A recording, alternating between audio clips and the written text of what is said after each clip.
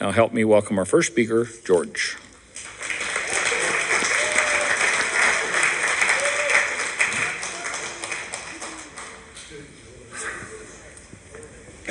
Hi, guys. My name is George, and I'm an alcoholic. Can you hear me okay? Good. Well, I had no idea what I was going to say. Absolutely none. So, somebody's motioning me for.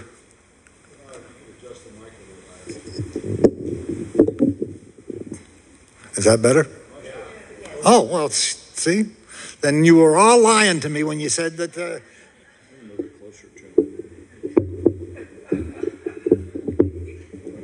Okay, that's only eight minutes I have to go then. so uh, I don't have much of a drunkalog. I drank by myself 90% of the time. Once in a great while, I'd go out to a bar, but it was always cheaper to drink at home, so I drank at home. Um, I remember the, the very first time that I had any alcohol whatsoever. I was uh, about four years old, and uh, my dad had a party, and everybody was drinking beer, and I would go around, and whatever beer was left over in the empty bottles, I'd pour it into a glass, and I threw some ice cream in it and had a beer float. I can't believe that after all of this time, I can still remember that. The next time I drank, I had stolen a bottle of vodka from the local Thrifty's drugstore, and uh, that when that was on a Monday. That that Friday night, I poured about half of it into a tall uh, cup, added some uh, orange drink to it, and I don't remember how much of it that I drank, but I drank enough to pass out. So I, I remember a few things during that uh, that evening, but one of them is going to a drive-in, and I remember there were some girls involved. Uh, I remember them trying to get coffee into me, and the next thing I remember is waking up in jail. What consequently, I found out that the, the guys got tired of me, threw me on my front lawn, and uh, the cops came by and said, Oh, there's a body on the lawn, and hauled me off to jail. So that was the first real drunk that I had. And wouldn't you know it, the very next week I wanted to do it again. So uh, I uh, I don't remember. Well, kind of an oxymoron. But there's only one time that I was told that I had a blackout, and that was during my teen years also. Um, and uh, other than that, I, I just, just, drank by myself. I never fit in anywhere. You know, that, that's one of the things that uh, I found true for myself. I never fit in anywhere. I was always the last person to be uh, picked for the baseball team or the soccer team or whatever. And uh, the th- thing of it is, is that this was back in the early 50s. I'm half German, half Russian. That was not a good mix right after the war. So, you know, I was somewhat ostracized, and that's the way I kind of grew up, uh, being a loner. And uh, I, the years went on. I did this, that, and the other. Went to school and dropped out, and went to school and dropped out, and I could never finish much of anything. And uh, lo and behold, uh, I finally, on my 26th birthday, I was a smoker, three pack a day smoker. On my 26th birthday, I had a nervous breakdown, what I consider a nervous breakdown. And uh, I quit drinking for a while. And I quit cigarettes too. It's the hardest dang thing I ever did in my life. It was harder to quit cigarettes than it was to quit alcohol. And uh,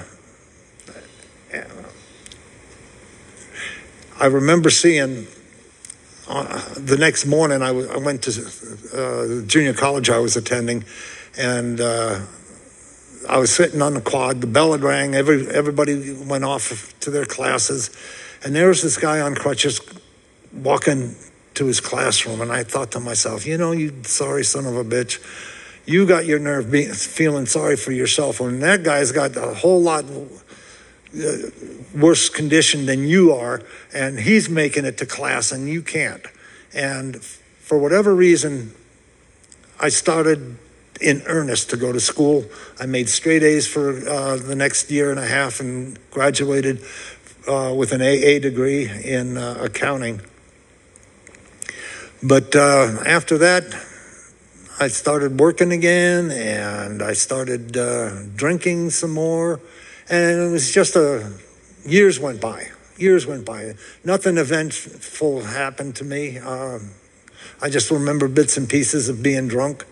Uh, and uh, virtually nothing eventful happened. So there was a, a time when I when I decided to do something about this, and what it was is that uh, I was involved with a gal, and she had a friend that was going to adult children of alcoholics. Now I had no idea about alcoholism uh, or any of that stuff, uh, but when she told me about adult children of alcoholics, I knew I knew that I drank inordinately too much. I mean, I wasn't buying pints or half pints. I was buying one and three quarter liter bottles, and I was drinking that. And uh, so I knew I had a problem with alcohol, but I didn't think I was an alcoholic. I didn't even know what alcohol or alcoholism was about. And uh, I finally uh, hit that pitiful and incomprehensible demoralization that the big book talks about. I had a 10 day Coke run, and I, well, don't get me wrong, I, I did uh, any kind of drug that happened to be by, but I always started with alcohol and I always finished with alcohol. Alcohol was the love of my life. And uh, I wound up uh, feeling that, after a 10 day Coke run, I, I, I was beside myself. I, I, had to do something and I didn't know what. And fortunately, at one of the, uh, at this ACA uh, meeting that I was attending to, uh, a gal told me about a counselor that could help me, and I made an appointment and wound up uh, seeing her. And she said, "Sure, there's I can help you." And I thought, "Thank God." And she said, "Well, there's only two things you have to do, though." And I said, "Anything." She said, first find an AA meeting for every day of the week that you drank." Well, that was every day of the week. And then she said, "Don't drink between meetings." And I thought, I what? But that willingness, I had that willingness because to this day I remember how bad I felt. Excuse me. And uh, because of that willingness, I, I, started attending meetings. And the thing of it is, is that when you're a loner uh, like I was, you didn't do too much social interacting with, with people and whatnot. Uh, and the truth of it is, is that uh, I was too scared. Uh, I was too scared to interact with people. And uh, I wound up going to these meetings and listening more than I, I could talk. There was one round robin uh, meeting that I went to, and I knew I'd have to speak because when it came around to my turn, I'd have to say something. But uh, other than that, I, you know, I didn't have much of anything to say. But the thing of it is, is that I found out that I was a lot like you guys. You know, I had similar experiences. I felt similarly about this, that, and the other that you did. And through your sharing, I was able to admit to my innermost self that, yeah, George, you're an alcoholic. And things started to change at that point. I, uh, I didn't get involved in, in, the program right away. It took me a little while to find a sponsor. But uh, my home group was a men's stag. And this was one of the rowdiest groups I've ever, even to this day, I've ever encountered. Uh, they're irrelevant, irreverent, not irrelevant, irreverent, and uh, they did, well, you had to have thick skin to survive there, let's put it that way. And uh, I wound up finding a sponsor there, and it was a, a, a fella, a few years more sober than I was. I was in the trades. I was in construction, and he was a painting contractor, and uh, he's still kind of my sponsor. I still talk to him on a regular basis. One of the things that uh, I found was that in this group of men at this men's stag, there was a, a, a bunch of us that were in the trades, and I started relating with these people, and we started doing things. And I never knew that I could have fun without alcohol. And they taught me everything. I learned that I could go camping without alcohol. I can go river rafting without alcohol. I can have go attend parties without alcohol, barbecues, you name it. And I learned how to do all of that in Alcoholics Anonymous. With the help of these guys, you know, not all of them survived. Uh, this one fella, I, God, he breaks my heart. Uh, they found him with a needle in his arm. And all it takes is that one time, and that, that's all they wrote. And his son and my son used to play together. I went to meetings with my son all the time. And he, well, he's a well behaved kid. And uh, they, they played outside the meeting hall. And uh, it just broke my heart when I heard about him. Um, what else? So uh, I continued to attend meetings. You know, people they read the AA literature, they pray, they uh, do all kinds of things to get in con- conscious contact with a power greater than themselves. I never knew how to do any of that stuff. But what I did do, and, and it's probably the only thing that I've done right in Alcoholics Anonymous, is I kept going to those same meetings over and over and over. And in early sobriety, they told me uh, to be of service. And I wound up getting uh, little commitments to do this, making the coffee. They wouldn't let me touch the cookies for a while because they didn't trust me. But uh, I, eventually I wound up with that. And one of my first jobs was cleaning ashtrays. Jesus the club that I that we went to, it's called Thursdays on PCH in Sunset Beach, and it was a small venue. It was well from from that bandstand to the end of this room, and not much wider.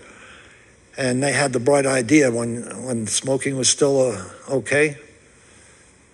All the smokers were on this side of the room. The non-smokers were on that side of the room and the cloud of smoke was down just over your head. And uh, yeah, I got to tell you, there's no zealot like a convert. And when I quit smoking at 26, and then now I, I'm fast forward to 35 when I got sober, I couldn't stand cigarettes. And having me clean ashtrays for those sons of bitches that are smoking, I could not believe I. Well, anyway, willingness was the key. I was willing to do whatever anybody said. And I am just thankful for that because to this day, you know, I am willing to do whatever it takes to stay sober. My favorite steps are the sixth and seventh because those are the discovery steps for me. That's where I interact with God. And uh, I never believed in God. I, didn't even like to use the term God, but uh, being a good lazy son of a gun, uh, it, using the term God is a lot easier than my higher power. So I, I, I use the term God all the time now. And uh, I say two prayers a day. And they're really short because I don't have a pipeline to my God. And uh, at night when I go to bed, uh, I, I thank Him for another day and uh, go over my day and see if I owe an amends to anybody. And it's been a long time since I've had to apologize to somebody. Now, uh, it used to be a different story.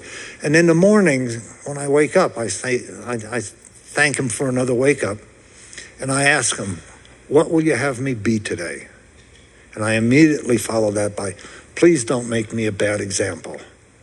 Because in, in paraphrasing the, the seventh step prayer, take away those things that stand in the way of my usefulness to you.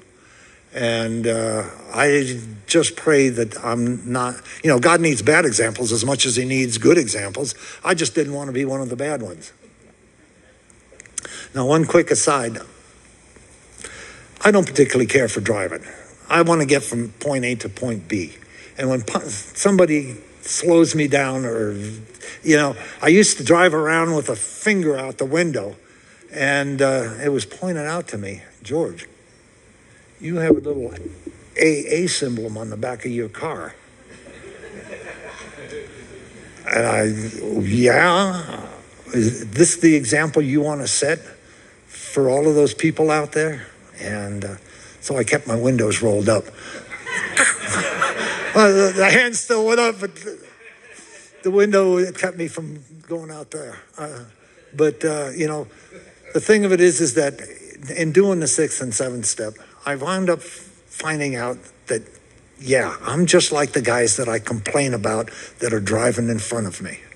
And uh, I got, God has taught me patience. And he's taught me a lot of stuff. I, I, mean, but patience is one of those things that I'm really grateful for because uh, it has a way of uh, making my life better. Gratitude and uh, yeah, I got a lot of gratitude in my life, and I've got a lot of thankfulness too. And that's it for me. Thanks.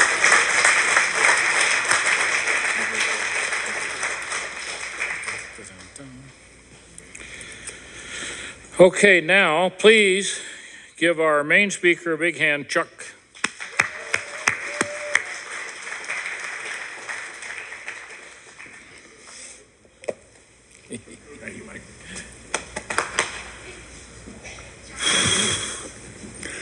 Good evening, everybody. I'm Chuck. I'm an alcoholic. My, uh, God, I'm already going to start uh, my sobriety date's February 19th, 1978. That's 16,635 days. I looked it up. That's a long time to not have a drink when you drank like I did, because I was a daily drinker when I after I started drinking. You know, I want to also welcome the uh, newcomers who are here, Dan and Mike, and I can't remember the other name because I'm so wrapped up in myself. Uh, you know, matter of fact, that was so long ago when I got here, I was skinny and had hair. You know, and that's kind of how that's kind of how it goes, guys. I. Uh, I'm not going to spend a lot of time talking about drinking because we all know how to do that. But I'm going to get back, back to a little bit other stuff. Uh, I was born in Oklahoma. There was six to seven kids lived on a farm in Oklahoma. Uh, my uh, well, that was later on. But when I was born, uh, my mom left me in a hospital till I was six months old because she already had five kids at home, and they had to call her and say, "Come get this kid." you know, and I was kind of treated like her. From the time I was two to six, I was raised by my uh, great aunt of mine, who was a full blood Osage Indian. And, and I'm uh, one quarter Osage Indian. And uh, did you know the Indian was the only group of people in the world that never invented alcohol? So we haven't learned to assimilate alcohol that well. Uh, but we did have peyote, which was, which was, which was a lot of fun. I, uh, I don't know why I chose that family. Some people say that we do choose but I kind of believe that. But we're supposed to learn lessons. My father was a disabled vet from World War II as a paraplegic. I always saw him in a wheelchair or on crutches. And he was a he was a very resentful man. He didn't like he was hurt when he was in his twenties. My mother was a half Osage Indian and had, was uh, totally committed to my dad even though they were married for 48 years, they shouldn't have been married for 48 minutes. There was a lot of violence in our household when I was a kid. I actually remember one evening, we never had friends over hardly or anything, but one time we had cousins over. And we were sleeping out in a screened in porch in Oklahoma. And uh, my parents were in a big fight, and I'm trying to go to sleep because I'm used to it. My cousin is shaking. I mean, he was so scared. And they're talking about getting divorced. And he says, Who are you going to go with if they get divorced? And I said, They're not getting divorced. Just go to sleep. I was so used to it that I was anesthetized by it. You know, and it's amazing how a little kid, I was probably seven or eight years old at the time, could do that. I saw so much abuse and alcohol and, and, and that when I was a kid that I was never going to grow up and be like that. I didn't take my first drink till I was 17 years old, which basically is a late starter for us alcoholics, from what I understand. I don't know, but one day my sister and I was down with her future husband in Baja, California. I don't even know why we went down there. And down at Rosarita Beach, down in Baja, I can remember this vividly today. For some reason, we went into this hotel and they had a bar, and we went in, and my brother-in-law says, "Do you want a drink?" And I was 17. I was out of high school by that time already. I was a very good student, actually. And uh, I said, sure. He says, what do you want? And the only name of a drink I knew was a screwdriver. I said, I'll have a screwdriver. I sat on that bar and I remember looking out this picture window and saw the ocean there and waves coming in. It was a nice warm day. And God, for about 30 seconds, I felt so wonderful. It was the most fantastic feeling I'd ever had in my life at that time. But uh, I spent another 11 years chasing that 30 seconds that I felt that day. I was, I was there and I took that drink that day, and by that afternoon, I was in Tijuana. I'd lost my shirt, one of my shoes, and I was trying to direct traffic on a street corner that was that was the start of my drinking. I threw up in the back of my sister's car, which I really caught hell for later on. And I thought, this is terrible. I'm never going to be like that again. About two weeks later, it started over again. Now, I didn't drink very much actually until I was like 21 years old and I discovered bars. I love the hell out of bars, and the divier, the better, it seems. I used to get in, into a lot of. Uh, a lot of bar fights, if you can believe that, of a nice, quiet guy like me. And, and, I, and I don't know why. I wouldn't even be talking to these guys, and they would come over and start beating on me because I'd be over in the corner talking to their wife. You know, alcohol made me very pretty. You know, I. Uh, I want to welcome, I, I welcome the newcomers, but you guys are in for a hell of a ride if you stick around here. You know, this is, is, is a really a we program. I looked this up on the internet. The word we in the big book is used 1,157 times. Can you believe it? It's on the internet. It's got to be true. Now, I'm going to tell you a little bit about my, well, maybe one or two more stories. I had a buddy of mine after this was after I turned 21. A lot of my, I got married at 19, by the way, but it, you know it was a starter wife, and uh, we had a couple. We had a couple of kids, and I loved those kids dearly.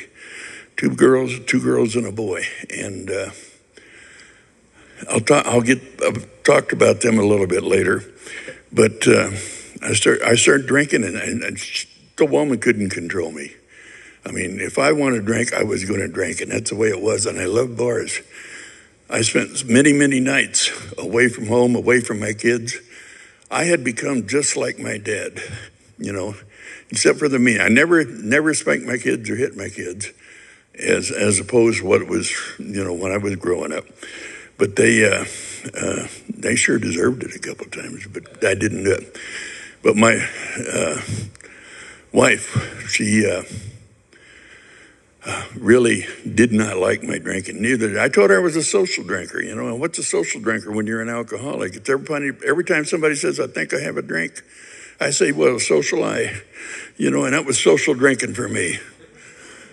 I loved, I loved bars, and uh, uh, it got me in a lot of trouble, as I said. One night, uh, one one buddy of mine, he was a Hispanic fella named Nick. We were out bar hopping. This was my first exposure to AA. we were out bar hopping, and as I said, he was Hispanic. We saw this bar, what we thought was a bar. We thought it said Alamo Club. It said Alano Club. We went in there. They tried to recruit us. We declined. But that wasn't my first exposure. Like I said, I started when I was 17. My first exposure to AA was when I was 21 years old. My first real exposure. I was working at a guy's house. I was a telephone man for Bell Telephone and uh, went to his house and I knocked on the door and, and he came to the door. He said, I'm sorry, I was outplayed last And I said, Yeah, I know what you mean. When hell we started talking. And he was a member of AA. And he gave me his phone number. And that night, for some reason, I went home and I saw the wife and I said, Met this guy today and he said he's in AA and he gave me his phone number. And my wife says, You better hang on to it. Well, anyhow, about a few days later, I, I give this guy a call, and he, uh, I'm trying to hurry because I found out I didn't have quite as much time as what I really thought I did, but I'm going to get through this if I can and carry all, get all the highlights. But uh, I, uh, where was I?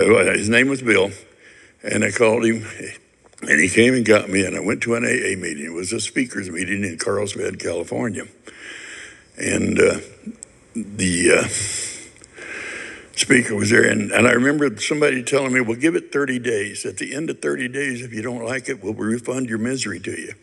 Well, I stayed sober for 30 days at that time. And on the 31st day, I went home to the wife and I said, See, I didn't have withdrawals. I didn't have DTs. I didn't, none of that stuff. And on the 31st day, I got drunk as, as I could. And it went on for another, another several years. There was a lot of, uh, as I said, uh, a lot of bar fights, a lot of fighting, a lot of drinking, and uh, uh, carousing. As I said, alcohol made me very pretty, and I let the women know it. You know, that I was a very handsome man, and they were missing out, but they didn't seem to care. But I, uh, geez, I, I, this is not at all how I had this thing planned. I am an alcoholic. I am a recovering member of Alcoholics Anonymous. And that is one of the proudest things that I'm ever going to say in my life. I so much enjoy that. You know, alcoholics are just, uh, you know, inventive, uh, complex people. We're very complex. You don't think we're complex? Look at tradition two. The original version had 22 words in it. After Alcoholics Anonymous got hold of it, revised it, it's now 32 words. That's the shortened version. That's how we do these things. We can complicate anything, it seems. Anyhow, uh, I was sober. I was sober for those 30 days. And then, and then I started drinking again. And it was like I was making up for lost time, too. I was a young 21 years old at this time. I started going back out. I was doing the bars. Shortly thereafter, I got arrested for my first DUI and uh, did not enjoy it and went to San Diego County Jail. I remember, I remember being there and the doors slamming and it did not feel good. About a week after that, I got arrested for assault and battery after I got bailed out. Bailed out. My mother came down and bailed me out on my first DUI. On the way home, we went bar hopping. That's, you know, that's the kind of mom that I had. They, they drank so much. And whenever she got away from my dad, she always would take off drinking. And sometimes she would be gone for days and we wouldn't know what, what or where she was. And he would take it out on his kids, basically. Uh, I have, uh, I was, I've been married four times. I have a sister that's been married four times. I have a brother that's been married four times. I have two sisters that have been married two times, and one brother never been married. Now, I think we didn't learn how to relate to other people as a kid. I think that we had a little bit of problem in there, learning how to how to cope with people. I after after my mother and I did that, I, I, I kept drinking, and I, I don't know why. And it, and as I said, I'd been exposed to AA before, and they'd told me about it, you know, so I knew what AA was. Make a long story short, I drank for another uh, several years. Uh, in 1977, the summer of 1977, I, uh, my wife was going to leave me, and she'd found a boyfriend. And I was like, okay, good, go ahead. But then when it came down to push comes down to shove, I didn't care for that, you know. And the next thing you know, I got this guy and I got hold of him and I started beating the crap out of him. If I hadn't got pulled off of him, it's the only time in my life I think I would have killed somebody. I broke three of his ribs, broke his arm and his collarbone before he got away. I promised my wife at that time that I would quit drinking. I went on Antabuse. This is the summer of 77. So for about six or seven months, I was on this Antabuse until I decided that I could drink again and I was going to start weaning myself off. I uh, stayed off it for like two or three weeks, something like that. By the way, my, my behavior never changed. I kept going to bars during this time, shooting pool, talking to people, this kind of stuff that I do. Not as much as what I'd done before, but I, I didn't change my, my lifestyle patterns. And I kept doing the same old thing, expecting different results. But anyhow, when I went off to Antabuse, one day I walked in, I ordered that beer, and it all started up all over again. A week after I started drinking, I uh, got arrested for uh, assault and battery. A week to the day after that, I got arrested for my second DUI. And a week to the day after that, I was riding my motorcycle. I remember leaving the bar, and I remember waking up in a hospital. That's like the only blackout I ever remember having. I don't know don't know what happened totally, but the, but they put me in a hospital that night, kept me overnight. They let me out the next day. A friend of mine picked me up, and I went back to check on the motorcycle before I went home. I had crashed across the street from the North County Alano Club in Oceanside, California that's when it hit me as clear as I had my moment of clarity was drinking is my problem. You know, I needed to get sober. I went, I went into that club that day. The lady was in there was named Katie F. She had uh, come in early because she hadn't done her cleanup work from the night before. The doors wouldn't even have been open. God was working in my life at that time. God had worked in my life all along, but I didn't know it. He was saving me for something, but I had to have some experience, I guess, in my mind because I wasn't convinced that I was an alcoholic before. But having been exposed to AA when I was 21, at 28 I came in. Oh, oh, one more thing. The night, the night before when I was in the hospital, I said to the doctor, I said, I wouldn't even hurt that bad, but I said, just let me die. Everything would be, everybody'd be better off if you just let me die. I wasn't even hurt that bad. I was 28 years old and I was ready to go. Things were so miserable and so terrible that I, that I was ready to go. And uh, it's amazing to me that I came out of that. I uh, was told 90 meetings in 90, this time I guess they stretched it out for a reason. They said 90 meetings for 90 days. I wasn't sure I was going to make it to 90 minutes to the end of that meeting. It was a Sunday morning, 10 o'clock meeting. And uh, like George was talking about, there was smoke everywhere, all this stuff. I was a smoker, but that, that didn't bother me. But I came walking in there, I was covered with mud and blood and had stitches down one side of my head. And I just knew that they needed me, you know. And as George was talking about a bad example, I was a bad example or maybe I was a good example of what would happen if you kept drinking, you know. I can guarantee you that things are getting worse. The more that you drink, and the longer that you drink. Being an alcoholic doesn't mean that you can't drink a lot. It, you know, being an alcoholic, it's not what you drink or how much you drink or how long you drink. It's what alcohol does to you when you do drink. And that's what it did to me. It made me a complete asshole. You know, there used to be a bumper sticker, I think, instant asshole, just add it, just add alcohol. And that's, that's what I was. I uh, don't really know if I ever enjoyed the taste of alcohol. I drank for the effect of alcohol. You know, the book talks about controlling and enjoying your drink, and whenever I enjoyed it, I didn't, I didn't control it. When I tried to control it, I didn't enjoy it. I always wanted more. Everything in my life was more. So I was sober for about two years. I decided to start my own business. Uh, my my wife wasn't that fond of that. I uh, ended up divorcing her through that, but I couldn't divorce her until I found another one. You know, so then I had my rebound wife. So I've got my starter wife, my rebound wife, and that my divorce between my first wife and my second wife was one year to the day apart. You know, and that's that's. I guess it's what term a quickie. I don't know. but uh, then I was alone. I, went, I after my business failed, I went to Alaska. I had my sister lived up there. She told me if I went up there, I could find this particular job working for the telephone company there. And I went up there, and I was unemployed for about six months, almost starved to death. Was there for about four months, got in a big fight with my sister, got kicked out. So there I am. I'm homeless in Alaska.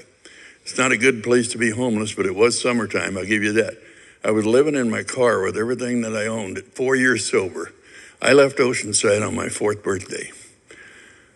Living in, living in Alaska. Finally got this job. Finally started to get back on my feet. And uh, my first wife calls me and said, I'm sending you our oldest daughter. She was a, uh, a prob- kind of a problem child. She's still a problem adult, but she keeps going. What can I say? But that young lady, uh, she and I lived together for like four years, I think it was, before I met number three. You know, along came number three. I knew this gal. I met her. She was an AA member. I, I, I met her, and it was uh, five weeks and two days later we got married. I can tell you, not a good idea. You know, it did not quite work out. It was, you know, if you were alone and miserable, the only thing worse is being married and miserable. I can tell you that. That lady, though, we were married for two and a half years, and she was quite the learning lesson. I learned so much from that relationship. When it was over, though, I was so devastated. One night I was sitting on the edge of my bed with a loaded pistol in my, in my lap, getting ready to blow my brains out, and I couldn't quite figure out why. And I was wondering who's going to find the body and who's going to clean it up. And that's kind of what stopped me. Other than I got mad at God I started hollering and going, I'm eight, I'm eight, nine years sober at this point, and uh, and I'm still screwing up. But I got so mad at God that I started screaming, "Why do you do this to me?" In the long run, looking back on it, He didn't do it to me; He did it for me, because I learned a lesson. Shortly thereafter, I met this guy on the job, and I said to him, "I want you." People to listen to this if you have relationship. I don't know if anybody in the problems ever had relationship problems like this.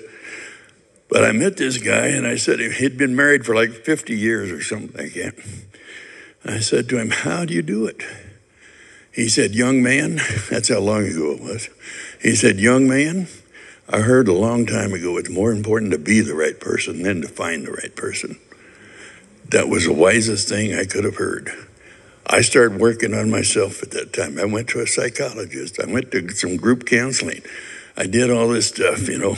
Uh, she and I were married, married for two and a half years. It was two and a half years of intense hell. I guess that's the right word. And I can't blame her because I picked her. You know, I set myself up for this. What was it about me that made me want to be punished that badly? I, I agree. And anyhow, started working on it. And then uh, a few months later, I'm out riding another. I bought another motorcycle by this time, by the way. I've got this job and it's working out real good. And I'm making good money, and and, and I I go into a 7-Eleven store, and I see a girl with the prettiest smile I've ever seen. That's number four, but that comes later. Uh, I uh, asked her out on a date. Well, well, this was a couple of times later.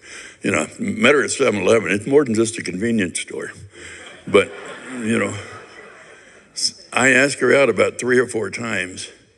I also tell people the first time I met my wife, she gave me a gas, but she didn't like that one. So I'm not going to say it. But uh, I asked her out three or four times, and she kept turning me down. One night, one night I finally said to her, What time you get off? And she told me, I said, Well, meet me for a cup of coffee. I said, Uh, give me a half hour. At the end of a half hour, if you don't like me, you don't have to tell me your last name, your address, where you live, phone number, any of that good stuff. She said, Well, what's in it for me?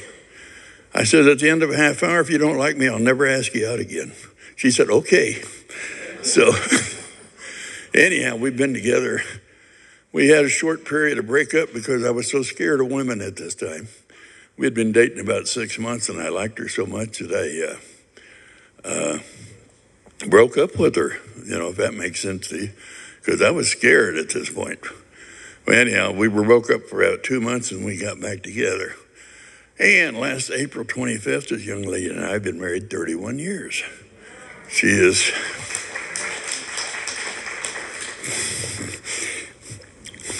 Still the sweetest lady I've ever known.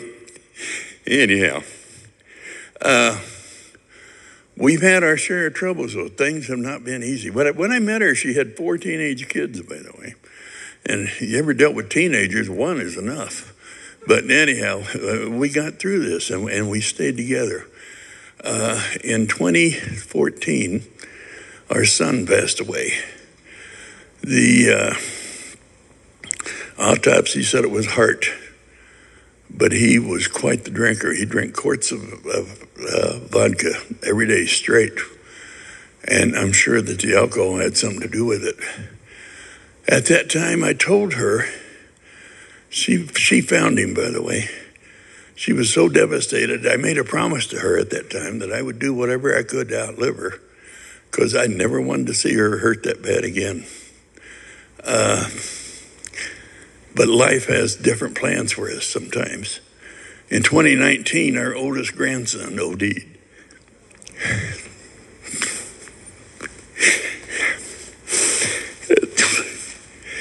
That's what these are for. You know, I kind of wondered why I wanted to talk tonight at this time. But one year ago, our daughter passed away on this day. She was a beautiful young lady. She ended up, she was choked on uh, some strudel stuff, but she had fentanyl in her system. She wasn't normally a drug user. But fentanyl killed her daughter. We have given, given so many trials in life that it's amazing. My, my one daughter, the one that came to live with me in Alaska, a few years ago, she came down with follicular lymphoma, a form of cancer.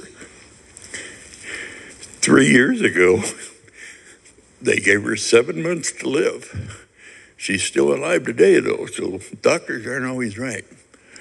My other daughter that lived in California, uh, she was mad at me when her mother and I broke up. Did not talk to me for eight years. One day I got a phone call out of the clear, out of the blue, and uh, she had been dating this guy that was uh, had an alcohol problem. She called me to ask about alcoholism and we am I getting close? We uh, uh, we got back together from that. Uh, she even named her second son after me. There's a little Charles running around. I hope he don't grow up to be like me. Well, he's not that little anymore. He just graduated from college with the with the up to me he's still that big. But uh, you know, I love the life that Alcoholics Anonymous has given me. I love the people that I've met in Alcoholics Anonymous. I love uh, the ability to handle the death of our kids. I don't know how I do it. I don't know how their mother did but we did it. We've done it together. People were, you know, so, uh, the word is not sympathetic but so nice to me when all this happened. There were people there, Alcoholics Anonymous and the friends of Alcoholics Anonymous. They divide the pain and they increase the joy. That's what everybody has taught me in AA. I didn't used to like people. I didn't used to care for people. I didn't used to realize that other people had feelings, and sometimes I hurt them. I try not to do that today. I try and be a nice guy. And I know that my, you know, my wife and my dog loves me. If I could be half the man my dog thinks I am, I'd be so wonderful. You know, that, that's the way that that's the way that they are. But uh, I want to thank George. I want to thank Curtis and Mike for allowing me to speak tonight. Speaking at a meeting of Alcoholics Anonymous is a privilege. It's not a chore. I was real nervous when I got up here, and I'm still a little bit nervous. But I'm getting better. I was a very introverted little kid. Uh, you know, we were all little kids once. If our, your childhood was kind of rocky, you know, realize that you're in control now of that steering wheel. You're driving that car down the road. And that you're not that little kid anymore. You're a full grown adult and you have the ability to change your life for the better, to build a better, happier life. You know, so start by giving yourself the love that you might have been denied. Start by sharing that love with other people. It's amazing what you can do when you have a little bit of love out there. And as my friend Lucy, who goes, by the way, the I want to thank everybody who showed up tonight to support me. That's pretty. The, the Tuesday, Thursday, big, open big book study is well represented. Uh, my friend Lucy from there, she always closes with this. She said, "God loves you. I love you. Keep keep coming back."